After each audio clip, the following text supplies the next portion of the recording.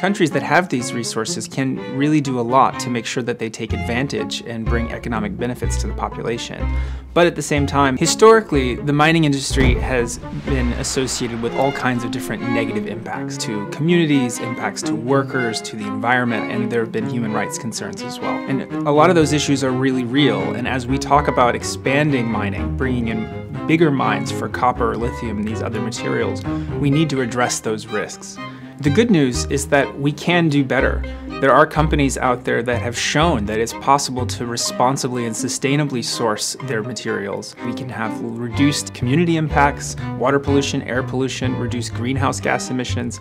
These technologies already exist. It's really a question of ensuring that every company is using them. If we don't address the environmental and social and community impacts of mining, then this could affect how quickly we're able to scale up the technologies that we need for the clean energy transition.